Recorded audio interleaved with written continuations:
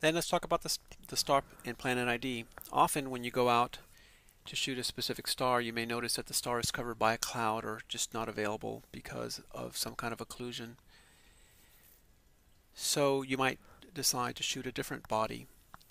Um, the StarPilot will identify that body for you uh, after you've taken the sight. So if you've taken, so you can do sight reductions on bodies that you don't know, uh, and then come back and then figure out what that body was. So let's go ahead and uh, see how this function works. Again, for this particular problem, we sighted a body at 2107, 26,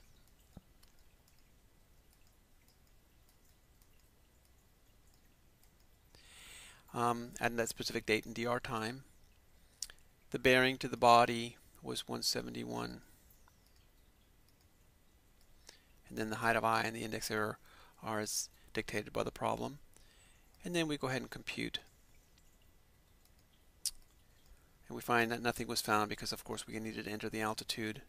And the altitude for this particular body that we were sighting is 31.36 and now we say compute ID and we find that Jupiter was the body that was um, at that particular location when we did the sighting. It also computes it also displays the computed altitude and the azimuth to that to that body. The final feature that I want to talk about is the um, sight planner. I've left this for last because it's the most complex one, but it's also one of the most useful ones. In its simple, in the simple instance, Sight Planner will display a map of the heavens at the specific time and locations you specified. So again, we want to do our sight planning at 2107, 26.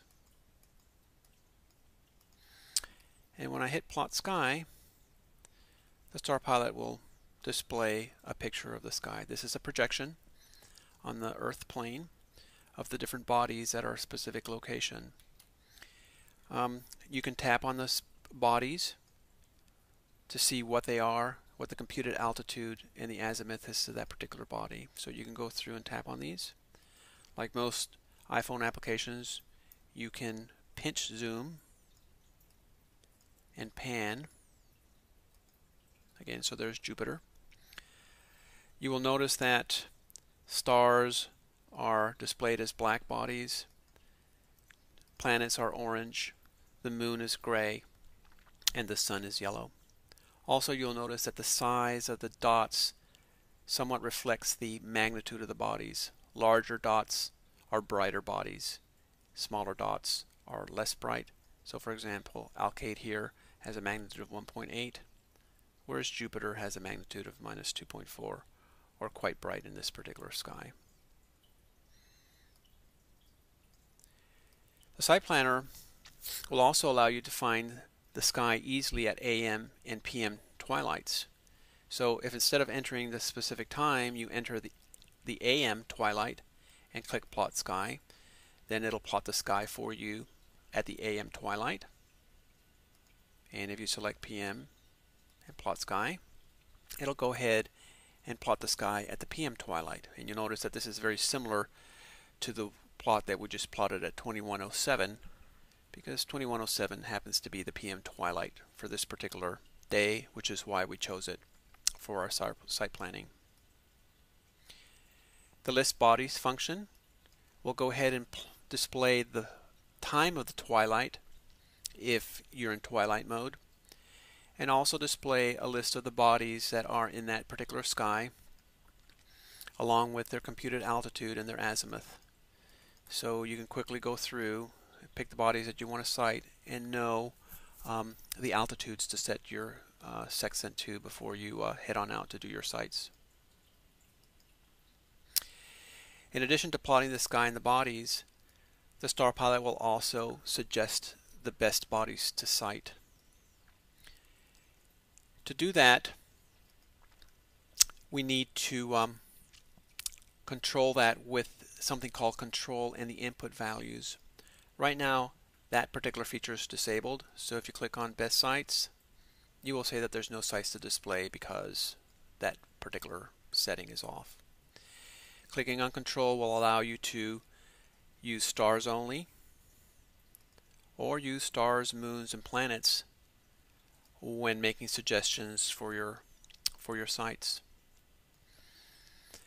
When you turn on the uh, control, the best sights control, and you click on the plot the sky, what you're going to observe is you're going to observe um, a grid that is placed on the actual plot suggesting the sights to shoot.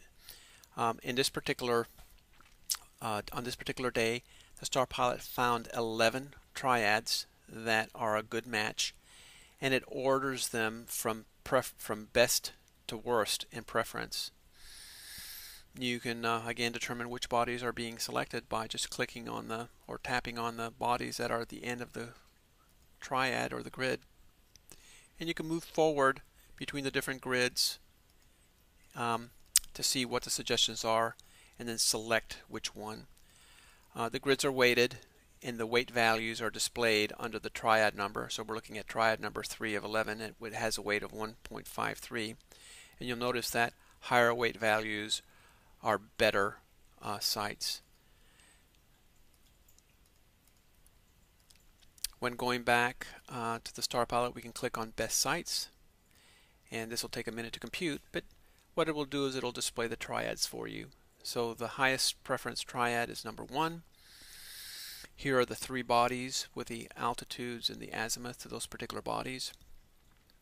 Also the different weighting factors, and we'll talk about that here in a minute. There's um, There are weights given for the altitude, the brightness of the star, and the deviation from the grid. And uh, we'll talk about those in a minute. And so here are all our 11 triads in order, and you can go ahead and write those down uh, and use them for your sights when you go out to take your sights.